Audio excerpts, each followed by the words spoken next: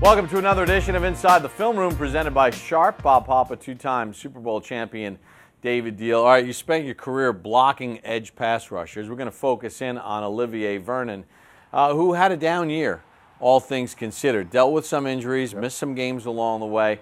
Uh, take a look at him rushing the quarterback. So here we're going to see him one on one up against Eric Fisher of the Kansas City Chiefs, who actually has B gap help from the fullback in pass protection. See, they motion over with Kelce. They bring the fullback back into the backfield. So Fisher knows that he has inside help. Look how quickly he gets beat with an initial spin move on the jump technique. The fullback has no opportunity because it happened so quick to help out. OV beats one, two players on one move, the inside swim move.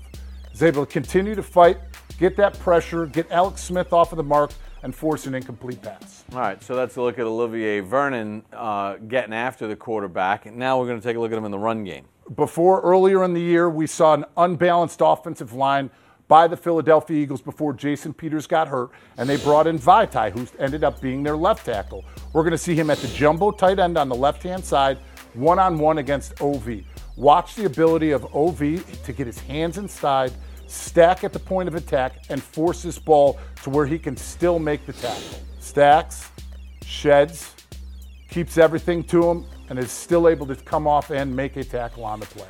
That was earlier in the season before he started getting nicked up. Yeah. Later in the season, he tended to get pinned inside and they ran outside him a lot.